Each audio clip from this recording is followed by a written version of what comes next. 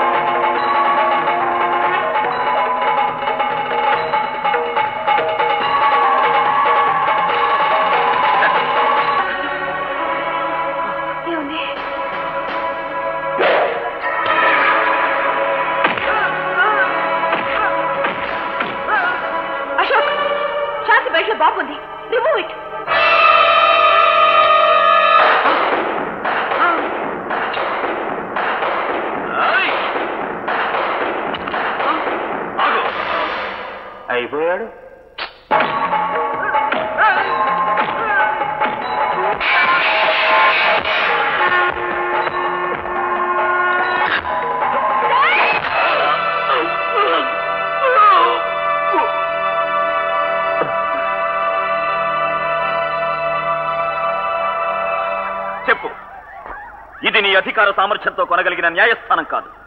ఈ వైపు దేవుడు ఆ వైపు మన నాయకుడు మరోవైపు దేశ ప్రజలు ఈ వైపు నీ చావు. ఈ నాలుగేళ్ళ మధ్య నిలబడిన నిజమైన న్యాయస్థానం ఇది. చేసింది చేసినట్టు చెప్పు. లేదా ముక్క ముక్కలైపోతావు. చెప్పు చెప్తాను.